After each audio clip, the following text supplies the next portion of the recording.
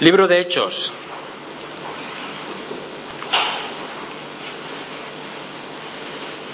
Capítulo 28. Aconteció que tres días después Pablo convocó a los principales de los judíos, a los cuales luego que estuvieron reunidos les dijo, Yo, varones hermanos, no habiendo hecho nada contra el pueblo ni contra las costumbres de nuestros padres, he sido entregado preso desde Jerusalén en manos de los romanos, los cuales, habiéndome examinado, me querían soltar por no haber en mí ninguna causa de muerte. Pero oponiéndose los judíos, me vi obligado a apelar a César, no porque tenga que acusar a mi nación. Así que por esta causa os he llamado para veros y hablaros, porque por la esperanza de Israel estoy sujeto con estas cadenas. Entonces ellos le dijeron, nosotros ni hemos recibido de Judea cartas acerca de ti, ni ha venido alguno de los hermanos que hayan denunciado o hablado algún mal de ti. Pero querríamos oír de ti lo que piensas, porque de esta secta nos es notorio que en todas partes se habla contra ella.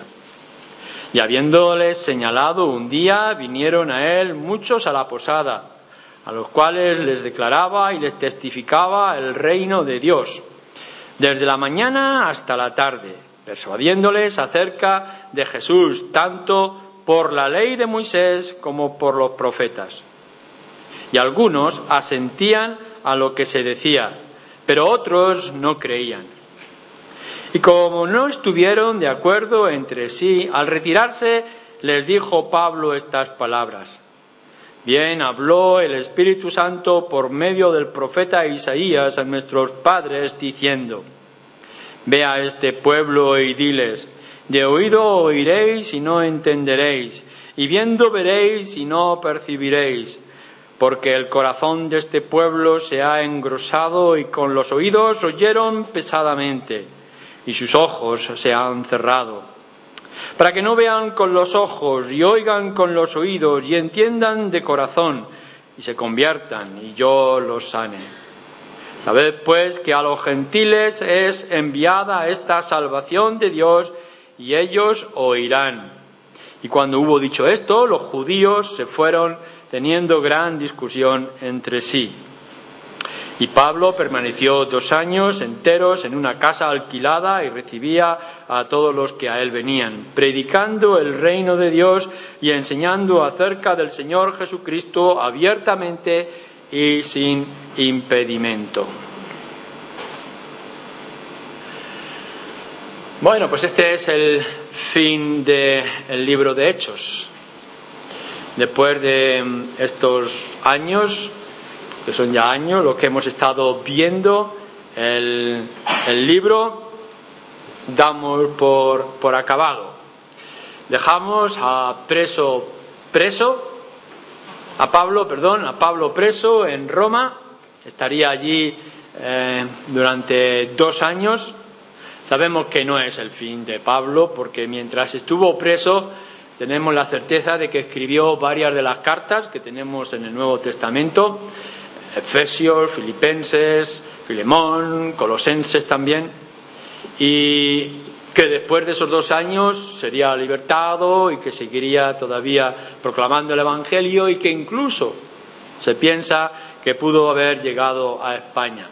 Pero Lucas, por alguna razón, deja este libro de Hechos, esta extensión de la Iglesia en estas circunstancias que aquí se nos narran. De alguna manera, la continuación de la obra de Dios por medio de su Espíritu y por medio de hombres y mujeres que han seguido dando testimonio y extendiendo el Evangelio, continúa hasta hoy y va a continuar.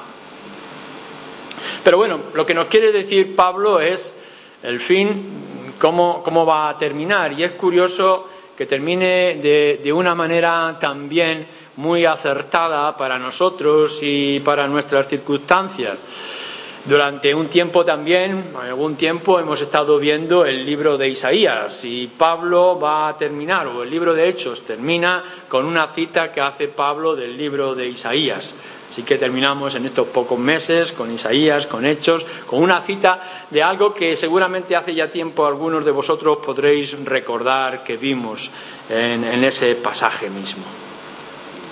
Hay una reacción. Pablo ha llegado a Roma, ha sido recibido por los hermanos, salieron a su encuentro y después eh, lo llevaron a ese lugar, pensión, donde estaría preso, tiene cierta movilidad.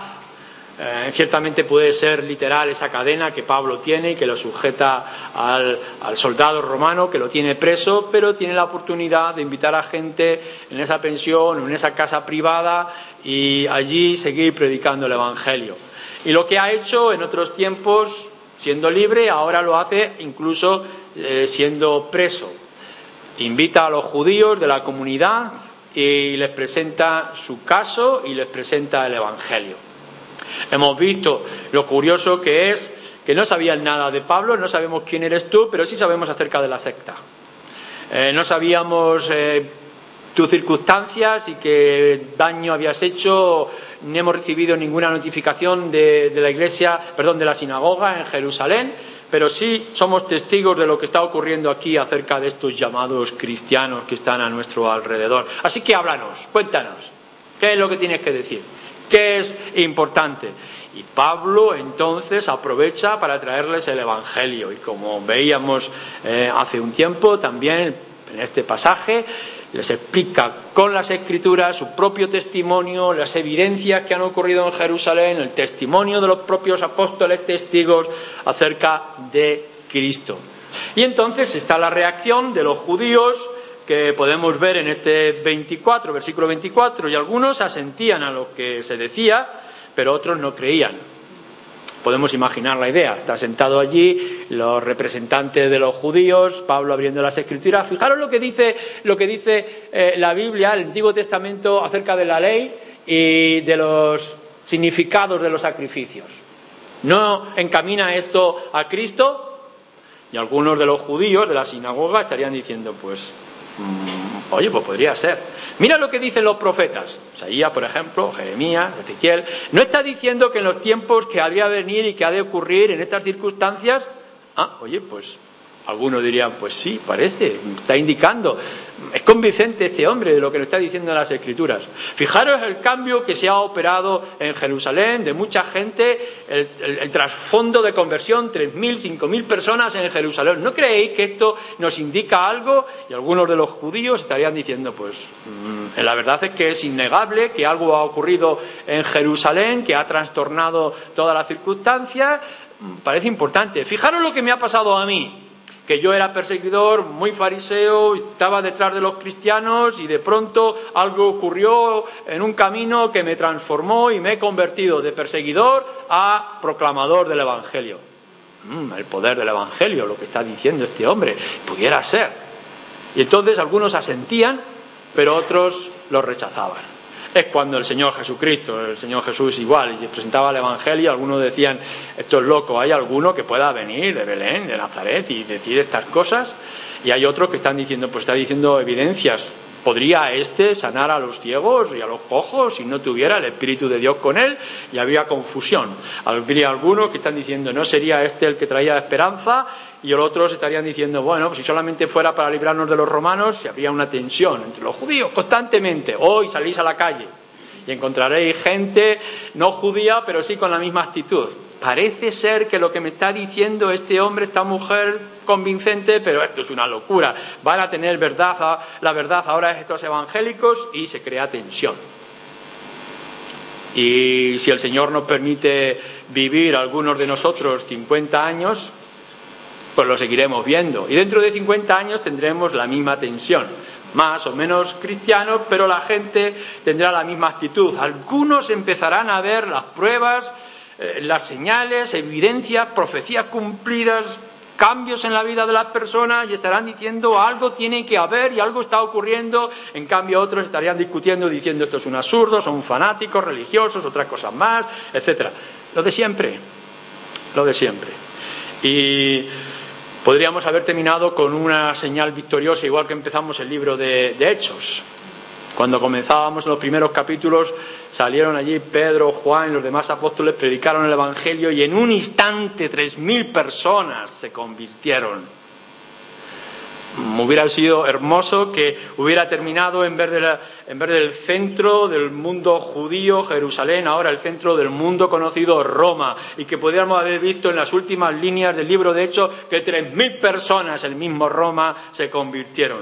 Pero no, lo que nos deja es una pequeña pensión un lugar donde Pablo a un grupo quizá pequeño de judíos le está presentando el Evangelio y unos parece que lo entienden y lo aceptan y otros los niegan y lo rechazan. Y aquí termina. Y nos miramos a nosotros y tenemos que decir, ¿es esto lo que, lo que nos espera? ¿Es lo que tendremos a lo largo de nuestra vida? ¿Es esta la realidad? Pues esta es la realidad. Esto es lo que hay.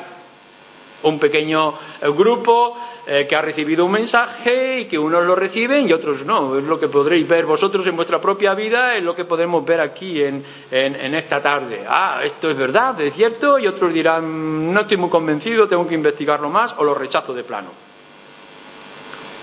Pero fijaros entonces que no es tanto la, la proclamación que Pablo hace a aquellos judíos, sino la respuesta que Pablo tiene cuando aquellos judíos empiezan a marcharse. Habrán pasado unas horas de discusión, de argumentos, y entonces los judíos están dispuestos ya a marcharse, ya ha terminado la oportunidad que Pablo ha tenido, y cuando se van a marchar, Pablo les dice una última palabra. Versículo 25. Y como no, tuvieron, no estuvieron de acuerdo entre sí, al retirarse, les dijo Pablo esta palabra.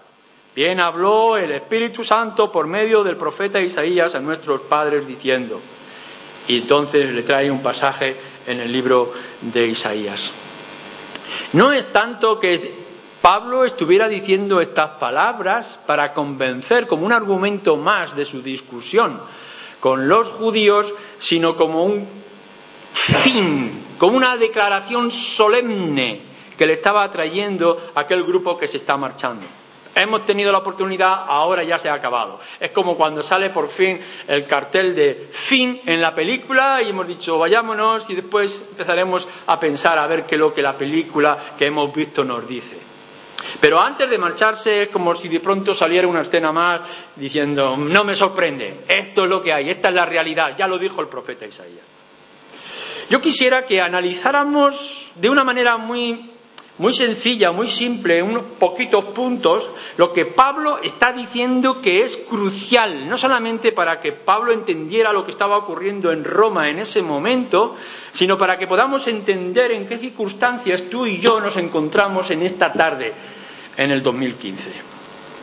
Hay unas verdades cruciales.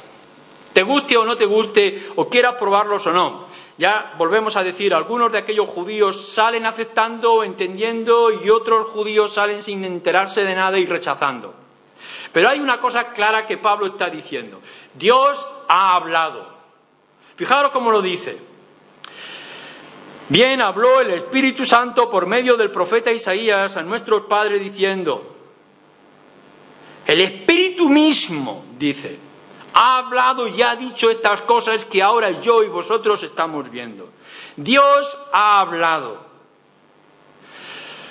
Mm, podremos entender y podemos investigar más acerca de la Trinidad, del Espíritu Santo. Cuando está hablando del Espíritu Santo, está hablando de Dios mismo, de una de las tres personas de la Trinidad, pero no entramos ahora en Trinidad, sino que lo que entramos es una de las verdades más maravillosas y sorprendentes que tenemos que intentar llevar a la gente y convencerles.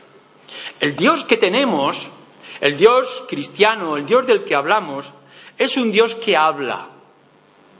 Mirad, habrá muchísima gente que en medio de toda esta feria de religiones y de ideas filosóficas, pueden llegar a la conclusión de decir, bueno, algo hay. Habrá una fuerza. Todo esto tiene que tener un significado. Mm, alguna, alguna cosa que haya producido todo esto que nos rodea. Y ese deísmo, ese pensar de que Dios, fuerza, bien y mal existe, es una mera neblina vacía. Lo que los cristianos estamos anunciando desde Isaías a Pablo y a nosotros mismos es que no solamente existe un Dios que crea, es un Dios de origen que produce cosas, sino que es un Dios que se comunica. No es únicamente un Dios que tiene una, fuerza y una energía para de la nada y, de la confusión eh, produzca el universo, sino que es un Dios personal, que hay personalidad, que hay, que hay características de, persona en Dios.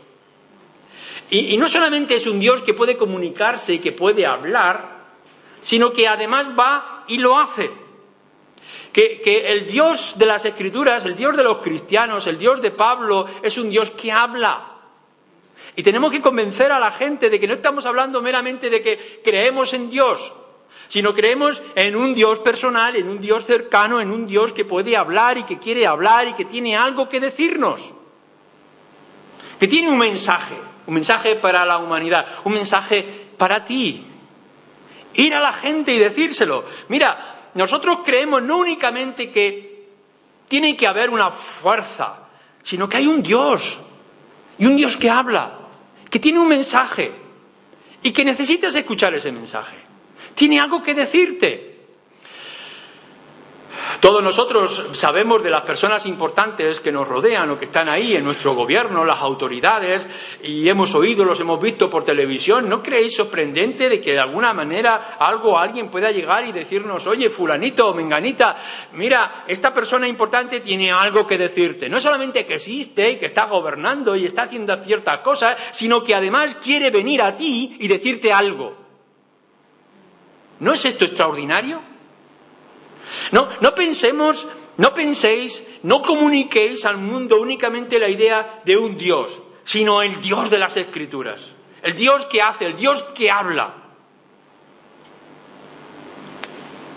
Los santos hombres de Dios o los hombres de las Escrituras, que fueron inspirados para traernos un mensaje. ¿Recordáis lo que dice Pablo?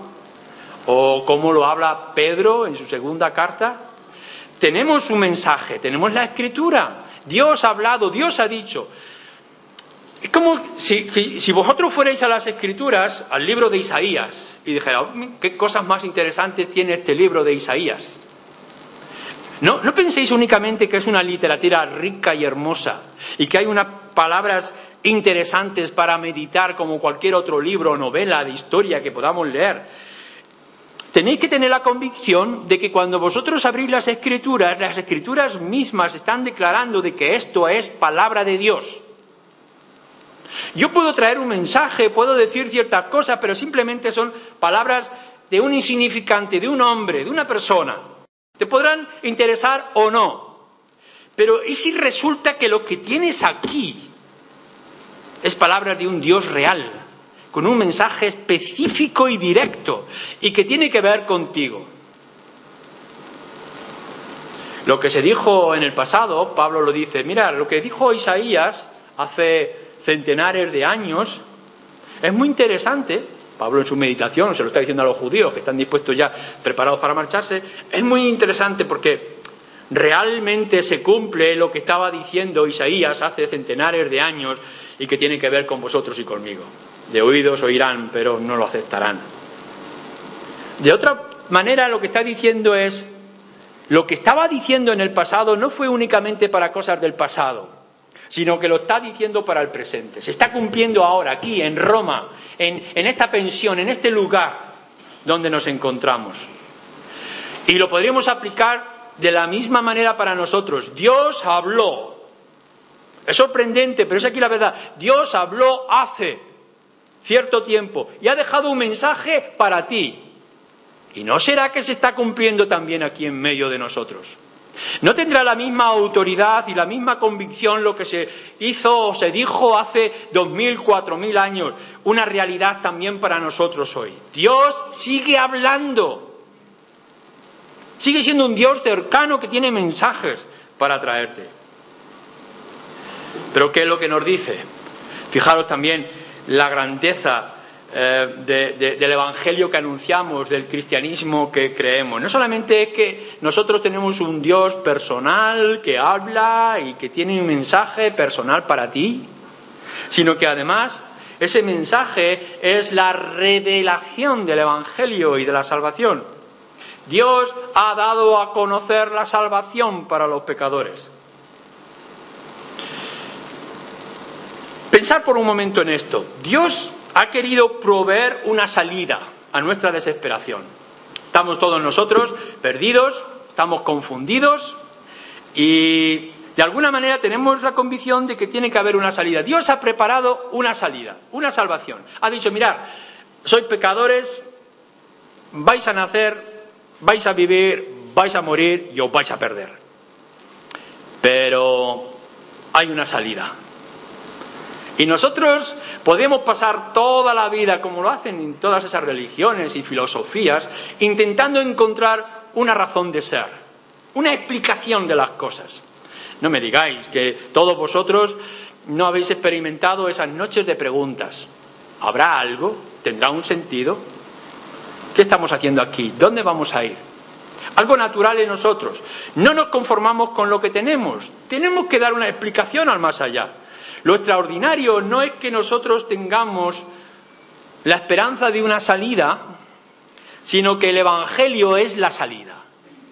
No es únicamente que Dios dijo no, habrá un camino para poder entrar en la eternidad, sino que Dios ha revelado el camino que nos lleva a la eternidad. Bastante misericordia y gracia Dios habría experimentado o manifestado que hubiera dicho, mirar, vuestros pecados os condenan y os rechazan. En vuestro estado y vuestra situación, por lo que hay en vuestro corazón y en vuestra mente, no puedo permitir la, la vida eterna. No podréis alcanzarla. Habéis perdido el paraíso y no podréis entrar por ella. Pero bueno, yo he establecido una manera. Eso ya, es extraordinario. El que el Señor diga, hay una puerta, hay una esperanza, es algo glorioso. Que podamos ir al, al mundo, a la gente y decir, Dios ha provisto un remedio. Y que la gente nos preguntara, ¿cuál remedio? ¿Qué remedio es ese? Ah, no lo sabemos, hay que investigar. Hay una salida para nuestro cáncer espiritual que nos corrompe por dentro. ¡Ah, glorioso! Hay una esperanza para los enfermos del pecado. ¿Cuál es este? No lo sabemos, pero Dios lo ha establecido. Lo, glorioso del Evangelio que expresa el cristianismo es que Dios ha querido revelar esa salvación. No únicamente que lo ha establecido, sino que lo ha comunicado. Y entonces dice que ha enviado hombres y profetas para que proclamen la esperanza de salvación y el perdón de pecado. Lo podía haber mantenido en secreto, Incluso a lo mejor Dios hubiera decidido, voy a salvar a este grupo específico de raza en el tiempo, en la geografía, y con esto me conformo. En medio de todos, este puñadito de personas son los que se van a redimir, se los van a salvar. Pero no, lo que nos dice es que el Evangelio ha sido revelado para que todo el mundo tenga la oportunidad de conocerlo no a un grupo limitado en la historia, en el tiempo, en el espacio, sino todo aquel que quiera oír, todo aquel que quiera saber, todo aquel que quiera buscar. Hay un evangelio dado para todos. Y esto nos sorprende y nos lleva, nos llena de gozo y de alabanzas para nuestro Dios. No es un Dios que está sentado en el trono de gloria y majestad y que nos observa y nos dice, me gusta cómo os esforzáis, pero no podréis hacerlo Intentáis, pero no lo vais a encontrar. Sino este Dios lleno de misericordia que dice, no podéis hacerlo, yo lo haré por vosotros. No solamente yo voy a establecer a mi Hijo Jesucristo, y lo voy a mandar para que muera en la cruz por los pecados de muchos. Extraordinario. Que Dios en su inmensa misericordia pueda decir lo que los hombres y mujeres no pueden hacer, yo lo voy a hacer enviando a mi Hijo Jesucristo. Ya es glorioso. Pero no solamente hace esto, sino que además va y lo anuncia, ir a todas las criaturas, ir a todas las naciones, a todos los pueblos y anunciar que hay esta salvación. Y esta es la grandeza del Evangelio, que nuestro Dios quiere que todo el mundo sepa, que todo el mundo conozca, que oigáis. Id a la gente y decírselo. Decirle que nuestro Dios no solamente es un Dios que habla, sino que tiene un mensaje tan extraordinario, en el cual revela que hay salvación para pecadores que Él lo ha dado a conocer y que ha mostrado evidencias. y, que podemos ir a las escrituras y podemos ver acerca de lo que se anunciaba que había de venir y cómo se cumple con inmensa exactitud en nuestro Señor Jesucristo. No es, únicamente que ha dicho, mm, a ver si lo acertáis, sino fijaros bien, que era necesario que alguien muriera, que fuera maldito por los hombres, pero que fuera aceptado delante de Dios. Que de alguna manera la ira que Dios manifestaba sobre los pecadores iba a ser frenada con alguien y que eso lo cumple en el Señor Jesucristo. Nos ha dado evidencias, nos ha dado la convicción. No es simplemente que soltamos palabras al viento a ver si caen en un orden determinado, sino que ha establecido un mensaje específico que se anuncia y que tú puedes llegar a conocer. Yo creo que las escrituras no están hablando en un lenguaje desconocido, no están hablando en un código que hay que descifrar, no está en chino,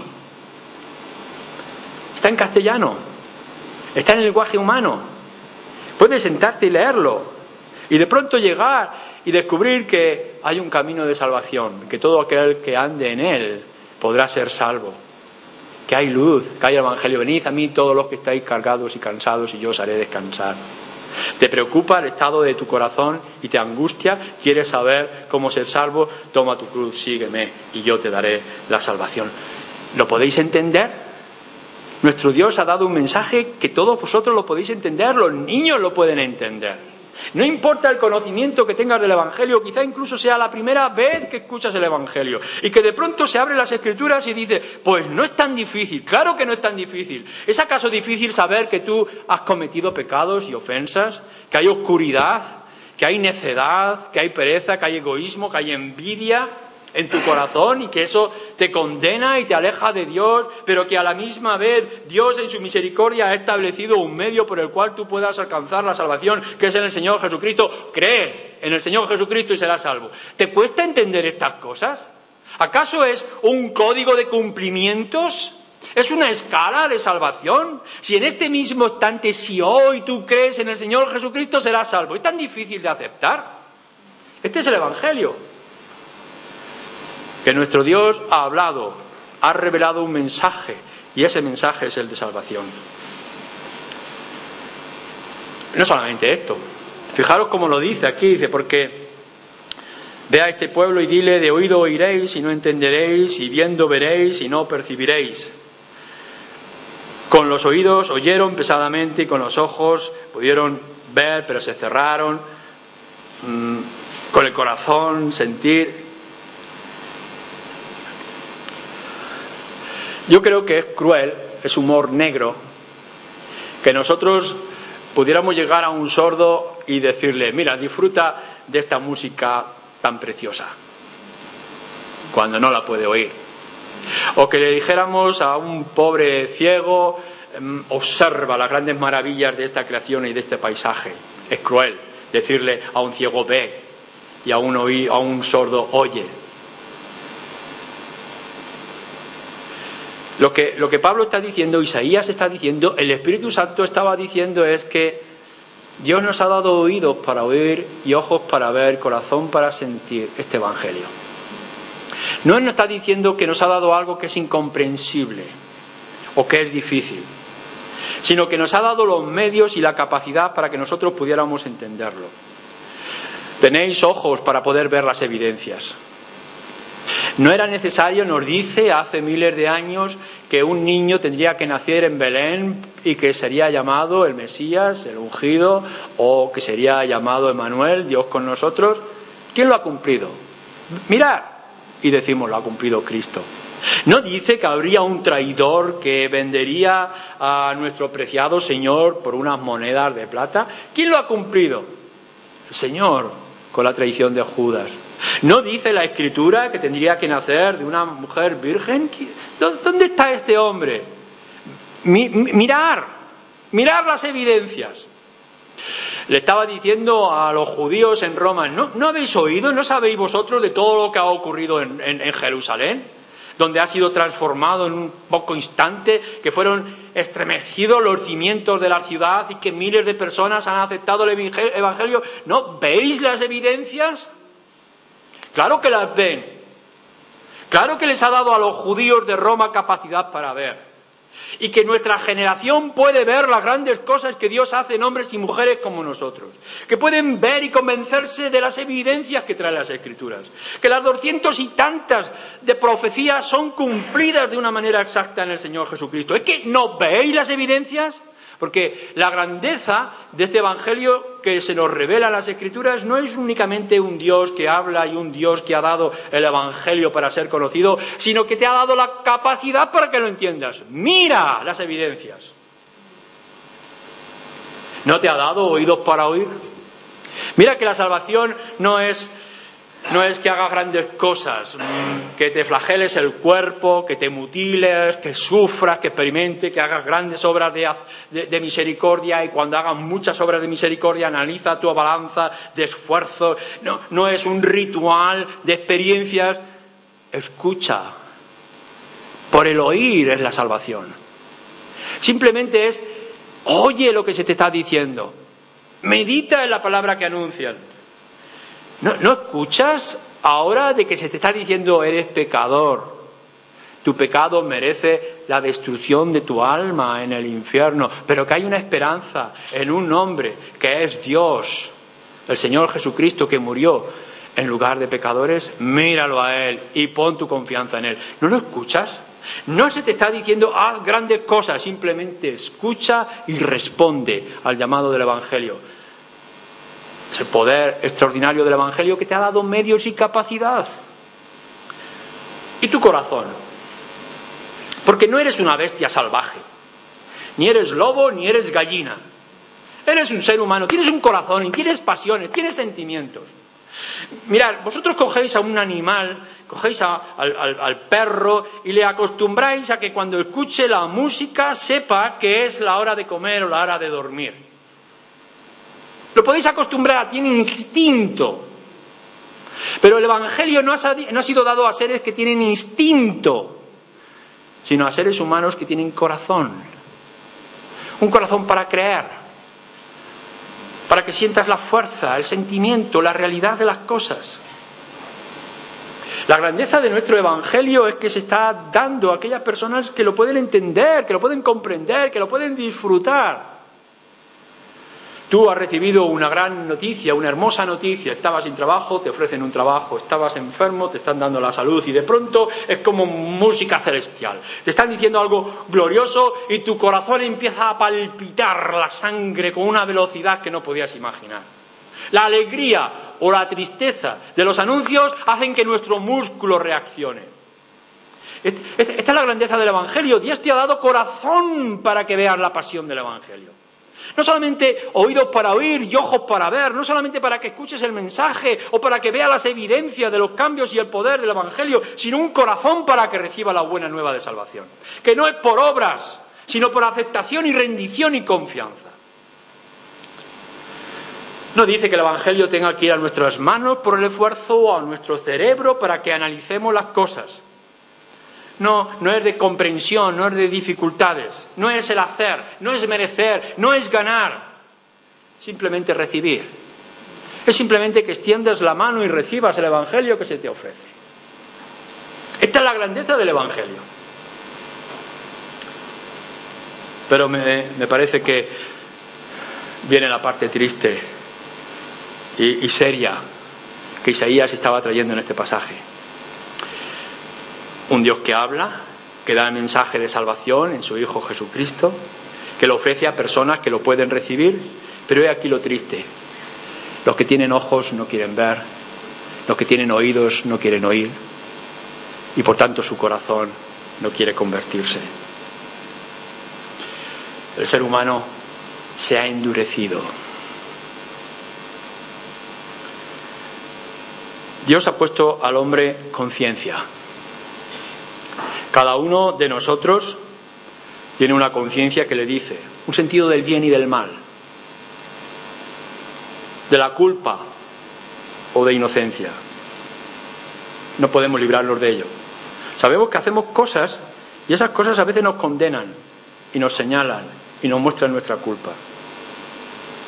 Y podríamos pensar de que cuando a alguien le decimos eres culpable y no lo pueda negar, que hubiera una comprensión, una aceptación y una conversión.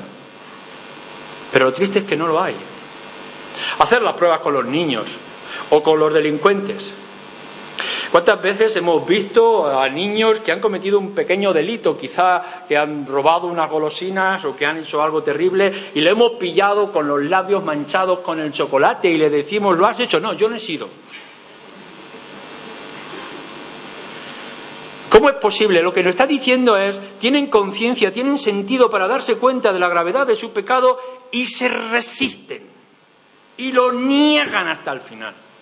Y vamos a hombres y mujeres, como aquellos judíos en aquella pensión cuando Pablo le estaba presentando las evidencias del Evangelio del Señor Jesucristo.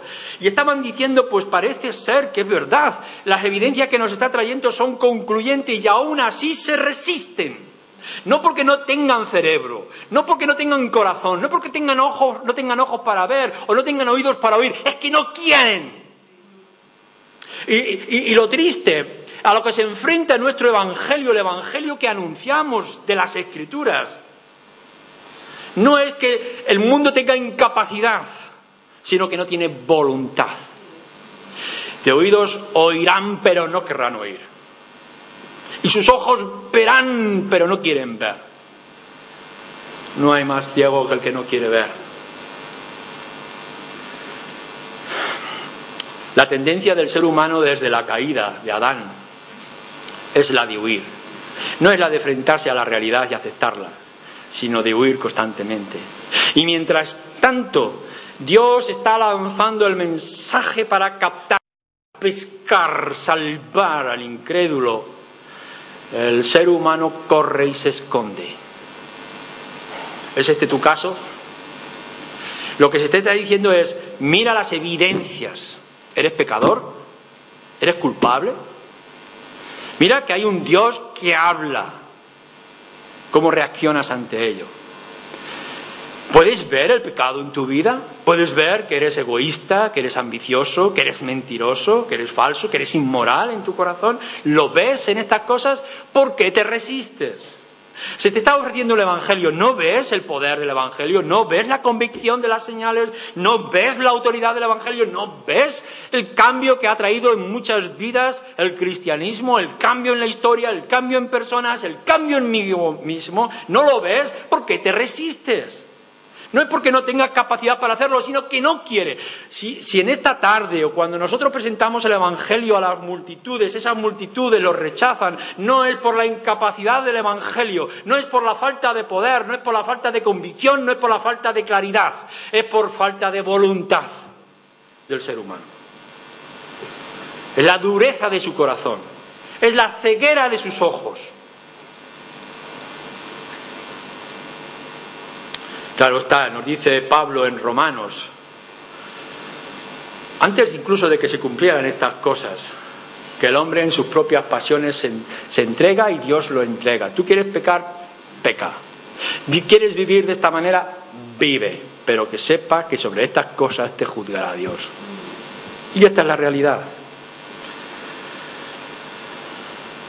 Ahora, lo terrible es esto que se está diciendo aquí es que un día se te tendrá que decir, mira, Dios te ha mostrado el Evangelio, Dios te ha dado el Evangelio, te lo ha presentado y te lo ha hecho sencillo y fácil. Y mira, mira que Dios te ha dado ojos para ver, oídos para oír, corazón para sentir. Si estás en este estado de condenación y de perdición, es por tu propia voluntad, es porque tú lo has querido. Mira que en una oportunidad como esta, o en tantas otras veces a través de, la página de internet, del evangelismo en la calle, de un folleto que se reparte. Se te está presentando el Evangelio y no has querido verlo, no porque no tengas capacidad o fuerza, sino porque no has querido y por tanto es culpa tuya y es tu responsabilidad. Si sigues en ese camino, Dios te dejará en ese camino. Si tú endureces tu corazón, Dios endurecerá tu corazón. Si lo rechazas constantemente llegará un momento que ya no tendrás la oportunidad de recibirlo y por tanto la maldición y la condenación caerán sobre ti por aquellos que escucharon el Evangelio y no lo aceptaron. Pero terminamos de esta manera. Igual que hay un Dios que habla y revela el Evangelio y nos da capacidad para aceptarlo y el corazón del hombre es endurecido, arrogante y rechaza esta salvación, Pablo dice,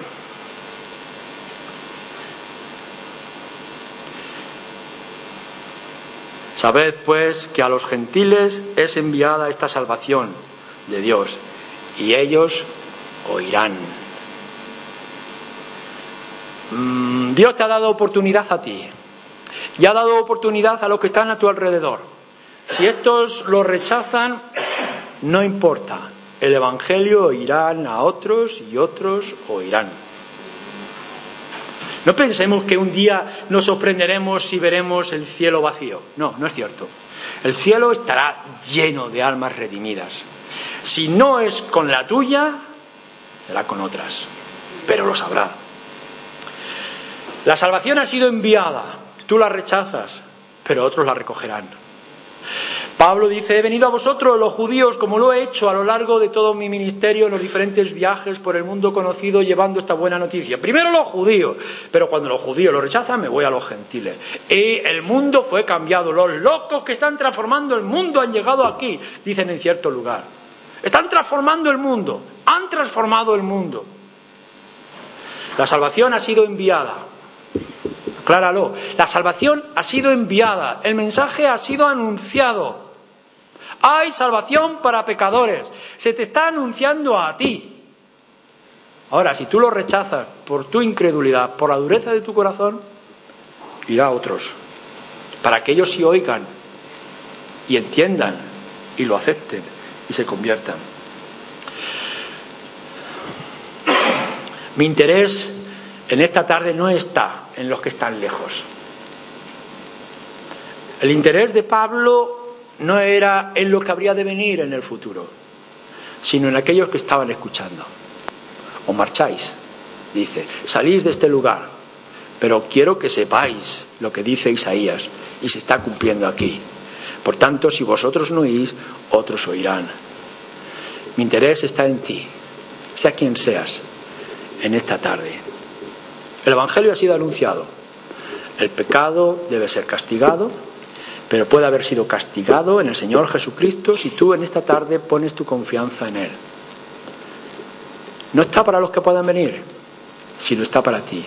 Ahora bien, si tú sales esta tarde con tu corazón endurecido, otros lo oirán.